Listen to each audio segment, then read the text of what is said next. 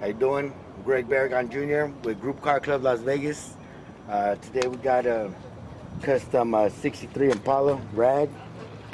It's uh, coming out of Uptown Customs. And uh, it's basically all purple. Got your spokes, custom interior, chrome to the bone. Out here, Las Vegas Super Show. No, no, how'd I say? it? What what was my first cleaned word? up. What was my first word? Spent a lot of time, as Stefan did, putting this together. So, something to look at, nice eye candy, pretty.